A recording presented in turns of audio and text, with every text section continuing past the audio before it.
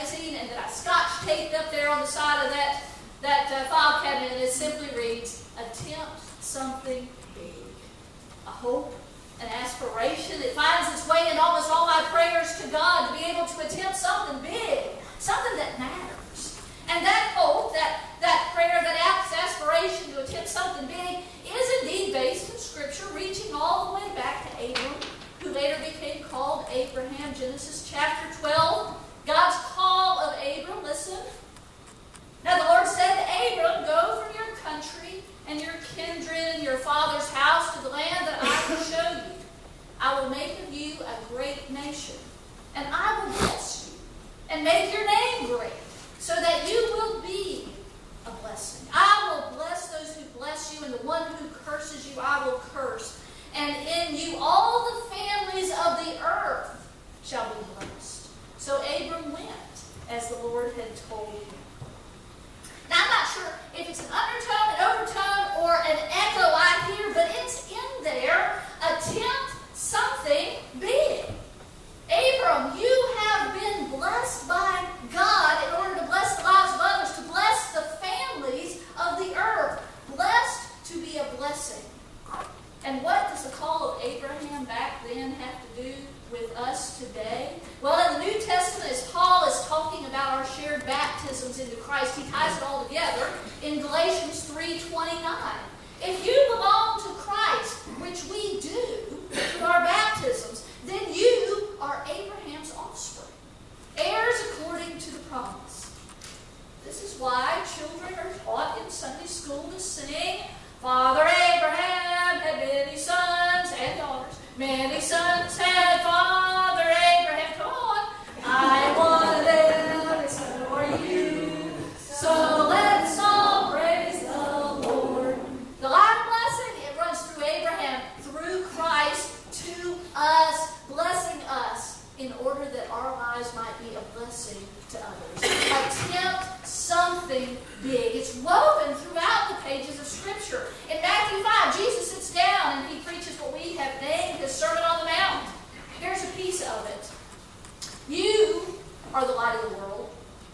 built on a hill cannot be hid.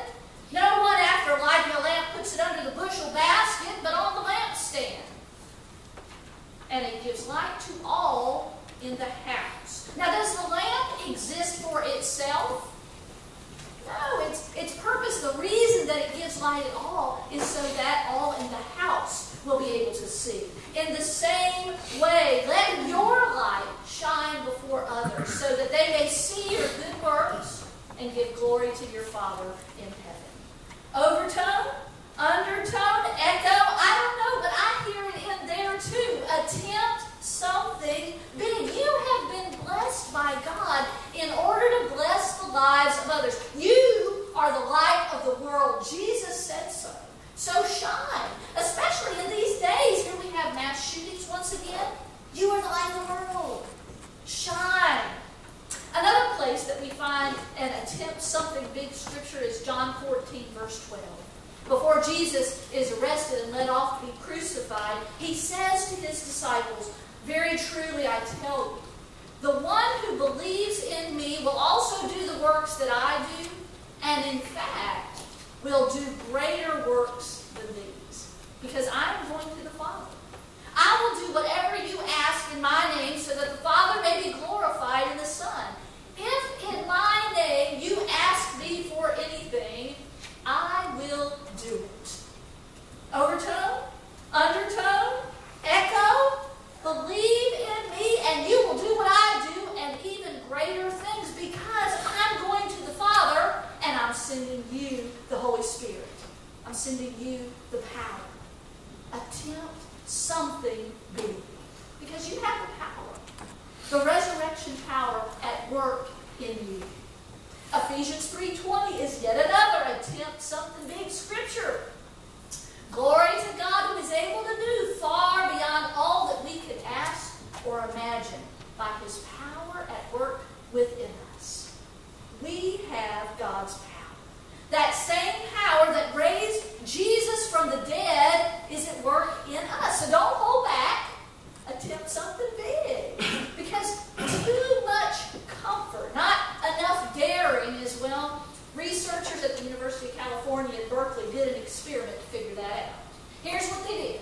They took an amoeba, you know what an amoeba is, it's a, a single-celled living organism, and they put that amoeba into a perfectly stress-free environment. The temperature was comfy cozy, the, the humidity level was, was just right, there was a constant supply of, of food, of all its favorite foods. Just imagine a never-ending cruise to the Bahamas, basking in the sun, suspended in a hammock, having all your favorite foods brought to you on a platter so you don't even have to get up. Well, that amoeba was provided with an environment which required nothing of it. It didn't have to make any adjustments whatsoever. It did not have to lift one single little amoeba finger, if you will.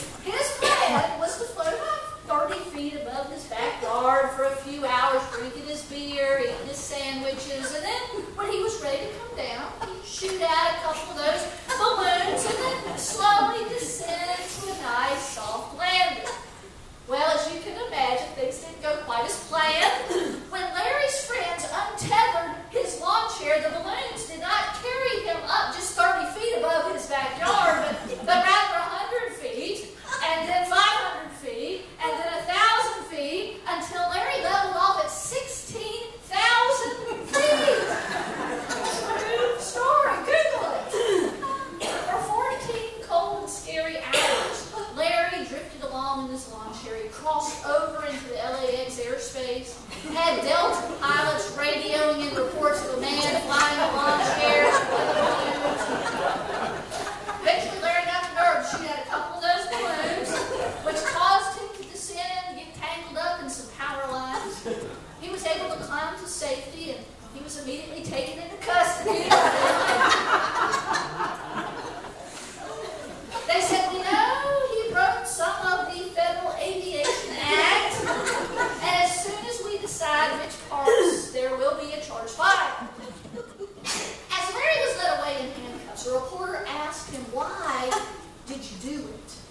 And Larry said, a man can't just sit around.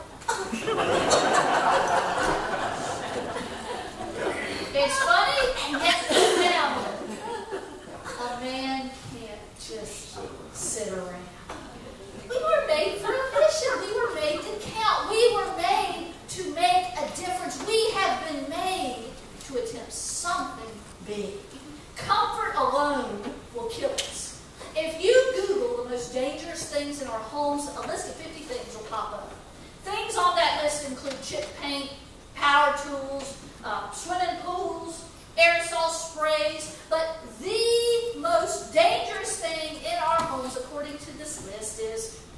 Anybody want to guess? Face out. The recliner. it's the sofa, recliner, rocking chair, or smart bed, any of those things. Indeed, sitting on your couch at Reeves might just be the most dangerous thing you can do in your home. Mm-hmm. Research shows that a sedentary lifestyle contributes to heart disease, diabetes, and early death.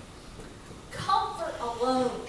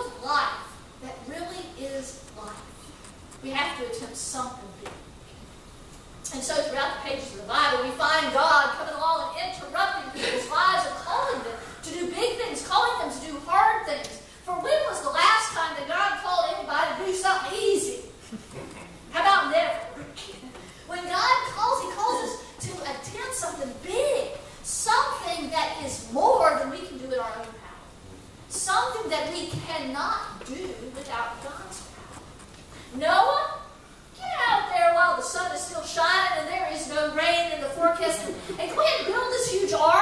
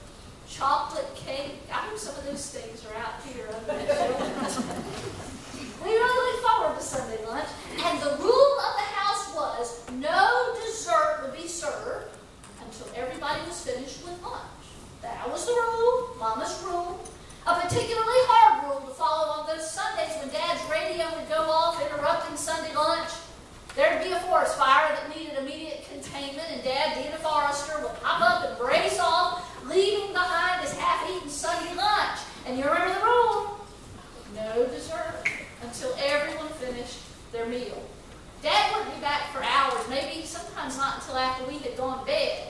And so we kids would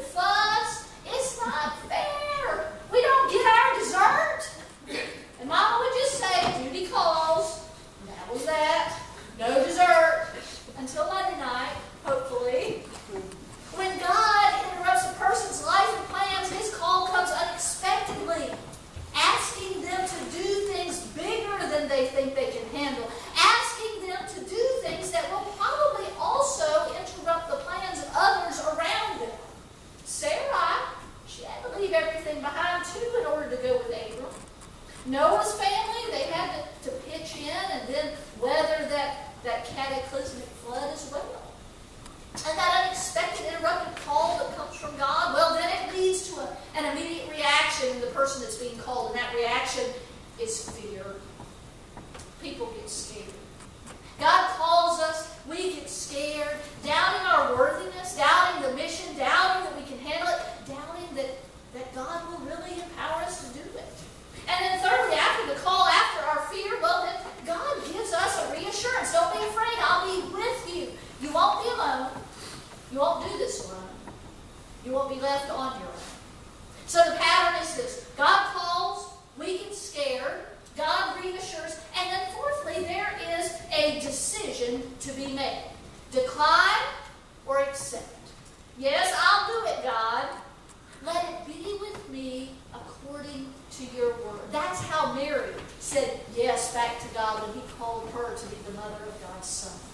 Here I am, send me, is how Isaiah said yes back to God. Or the person being called says, No, no, I won't. To the rich young man, Jesus said, Go off and sell all your possessions, give your money to the poor, and then come on and follow me. And that man went away very sad because he had many possessions. No, no, I won't. When God called Jonah to that evil city of Nineveh to go and to preach so that they might repent and be saved, Jonah said, No way. And he hopped on a ship traveling away from Nineveh in the opposite direction of Nineveh. When God calls, you can either say yes or no. You have to answer yes or no. You either trust God, obey God, step out in faith that God is who He says He is, and God can do what He says that He can do, and you attempt something big, or you don't. Now, of course, we would prefer a guarantee ahead of time of how things will turn out, but we were made to live by faith. We were made to trust God by faith. Faith being the assurance of things hoped for, the conviction of things not seen. So when God calls and you get scared and God reassures and you make your decision, yes or no, know this, know that God wants a yes from you or else he wouldn't have called you. God wants a yes from you because you were made for a mission. You were made to count. You were made to make a difference. You were made to attempt something big. Because remember, you've been blessed through Abraham, through Christ, to be a blessing to others. Daniel is, is one example. He and his family came to our church a couple of years ago. Daniel just turned 30 years old, and he's an avid swimmer and basketball player. He has hundreds of Special Olympics medals, as well as an insulin pump that he doesn't mind showing off.